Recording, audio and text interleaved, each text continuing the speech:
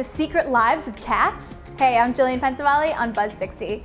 Ever wonder what your cat really does when you're not around? Some new footage is putting all speculation to rest, and it's not pretty. Researchers at the University of Georgia put lightweight, waterproof LED cameras on the collars of 55 domestic cats.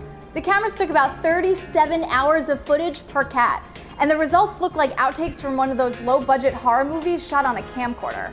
The study shows that in their spare time, cats like to run incredibly fast, hide, and kill animals. Lots of animals. Lizards mostly.